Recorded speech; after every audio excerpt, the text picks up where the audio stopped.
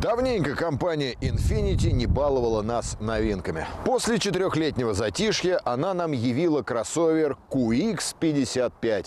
Самое время его протестировать. Автомобиль построен на основе модели QX50, но форма крыши у него модная, купеобразная. Габаритная длина и ширина кузова чуть подросла, а жесткость накручения увеличилась на 10%. Для машины со спортивным имиджем это важно. За тестовый экземпляр просят 5 миллионов 815 тысяч рублей. Соперники на нашем рынке Genesis GV70 и более доступные Havail F7X и Geely Tugela.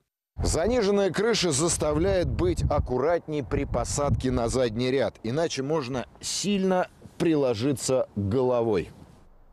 Но пассажирам на галерке не тесно. На водительском месте эти кроссоверы вообще неотличимы. Здесь общая центральная консоль с двумя сенсорными экранами, руль и аналоговая панель приборов. Отделан интерьер добротно, но оснащенность могла бы быть получше. В частности, мне не хватило беспроводной зарядки для смартфона и вентиляции сидений. Как и большинство одноклассников, QX55 снабжен двухлитровым бензиновым турбомотором мощностью 249 лошадиных сил. Этот агрегат уникален наличием системы изменения степени сжатия. Нужно это, чтобы сократить расход топлива, но на деле рекорд экономичности QX55 не демонстрирует. На 100 километров ему нужно в среднем 11 литров бензина. А вот к динамике вопросов нет. Ускорение мощные и напористые. Активные водители будут довольны.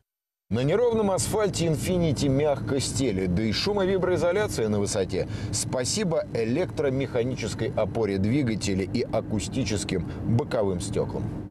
Кроссовер грамотно сбалансирован на ходу и радует надежной управляемостью. Дело в том, что рулевое управление здесь осуществляется по проводам и механической связи с колесами нет. Благодаря такому решению вибрации и толчки на руле на ходу совершенно незаметны. А еще можно менять уровень усилия на штурвале и скорость откликов. Каждый найдет подходящую настройку. На бездорожье съезжать не стоит. Хотя полный привод и 20-сантиметровый клиренс кое-где могут и выручить. QX55 продемонстрировал сочетание актуального дизайна и современных технологий.